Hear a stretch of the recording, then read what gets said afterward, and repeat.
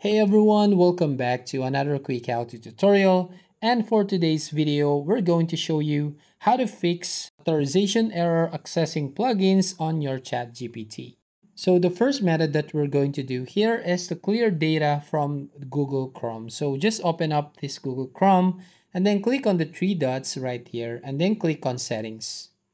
Now here on the settings, you just try to click on privacy and security and then click on this site settings at bottom and then click on this view permission. And from here, all you need to do is just find the or search the OpenAI. So as you can see, if you click this one, you'll find the chat GPT.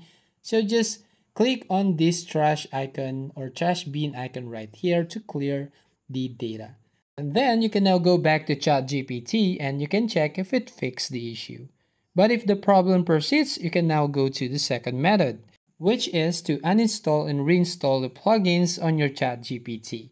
So we can actually follow the instructions here uh, from the community.openai.com, some step-by-step -step solution on how we can do that. So first is go into the plugin store in ChatGPT and then search for the plugins presently not working. So in that case, Prompt Perfect or Scholar AI and the third one is uninstall the plugins and then reinstall the plugins which will most likely require you to reauthorize them. And then test the plugins to verify that they're working again. Now once you follow all the steps right here, you can now check your ChatGPT if it fixed the issue.